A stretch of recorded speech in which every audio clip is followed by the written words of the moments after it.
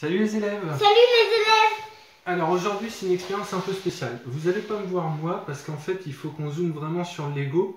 Alors on a construit un truc, on l'a bidouillé avec Mini Prof. Euh, le but c'est pas qu'il soit joli pour l'instant, c'est surtout le résultat qu'on va avoir. Et vous allez voir... Contre-poids que j'ai fait là, c'est un truc qui est, qui est très bien. Voilà, Mini Prof il voulait faire des contrepoids là. Bon, ce qui est très important, c'est d'avoir un support ici qui monte et une petite pente ici quelque chose d'assez lourd pour le socle. Et de l'autre côté, il vous faut obligatoirement une chaînette là, une là, et cette chaînette là. Alors moi, j'en avais pas des plus courtes, donc j'ai pris une en deux, comme ça, pour diviser la taille.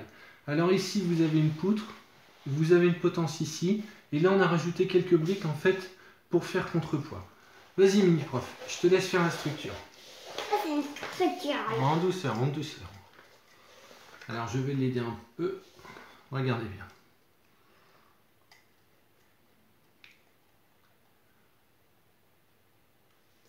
Wow, presque.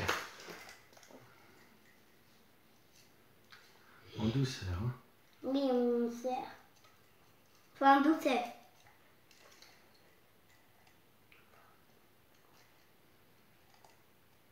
Voilà, détendu. Très bien. Alors, regardez.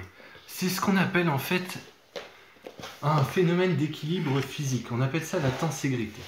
Eh bien, ici, vous avez, alors c'est surtout pour les troisièmes, hein, mais bon, vous avez ici en fait le poids exercé par les Legos qui est par là. Et la chaînette exerce une force vers le haut qui empêche ce poids de tomber.